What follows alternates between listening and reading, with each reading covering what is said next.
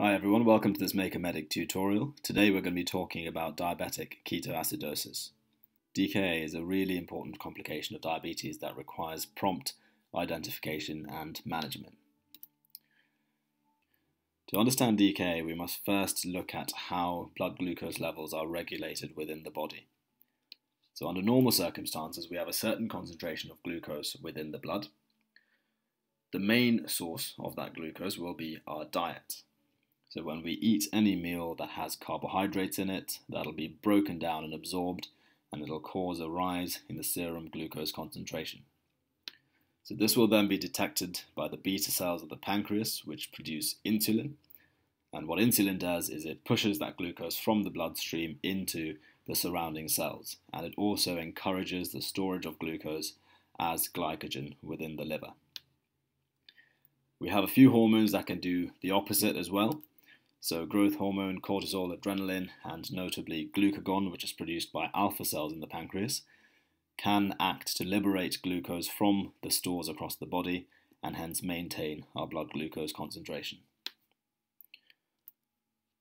So let's look at what happens in a starved state. So if we don't have enough intake of carbohydrates in our diet to maintain our blood glucose levels, those hormones that I mentioned earlier will liberate glucose from our stores, mainly the hepatic glucose store, to maintain our blood glucose level within an acceptable range. So we're able to function to some degree in a relatively starved state because of the action of these hormones. Furthermore, the muscles in our body are able to use fatty acids as an energy source to make sure that they can still continue to function. The brain, however, is a slight problem in this state because the brain is unable to use fatty acids directly as an energy source, and so they need ketones to be produced by the liver via the breakdown of fatty acids before they can be used as an energy source. So this may be okay in the short term, but it can cause major problems if ketones accumulate in excess. So let's see how insulin fits in to this whole schema. So when we eat any meal that contains carbohydrates, it'll be absorbed into our bloodstream and it'll cause a rise in blood glucose level.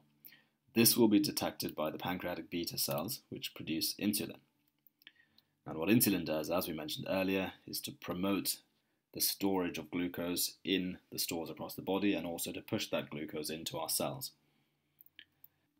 The glucose will then have a feedback effect on these beta cells. So as the glucose level starts to decrease, that'll reduce the release of insulin from these pancreatic beta cells, and hence it maintains the glucose within a set range. So just to summarize, one of the main effects of insulin is to push that glucose into the cells and also into hepatic glucose stores, However, one other effect is that it switches off ketone production. This makes sense given what we've just talked about because ketones are only necessary when glucose is in short supply.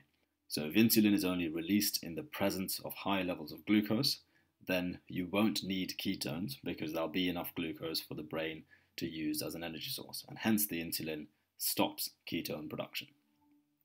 And this really is the basis of DKA. So in DKA, which primarily happens in type 1 diabetics, patients are unable to produce insulin from their pancreatic beta cells. So if they can't produce enough insulin, it has two main consequences.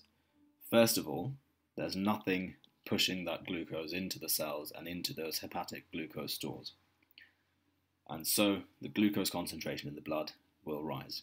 Secondly, the inhibitory effect that insulin had on ketone generation within the liver has been removed, and hence the ketone concentration of the blood will increase considerably. So the term diabetic ketoacidosis summarizes exactly what's going on.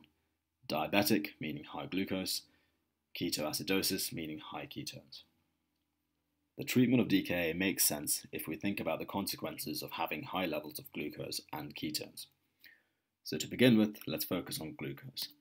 The problem with glucose, in this instance, is that it is osmotically active, and hence high concentrations of glucose in your blood and hence in your filtrate results in water being drawn into your urine and you end up peeing a lot of your fluid out. And that, as expected, results in dehydration. The problem with ketones, on the other hand, is that they are acidic. they are keto acids, and hence they create a state of metabolic acidosis which affects enzyme function across the body and can, in severe instances, result in coma and even death.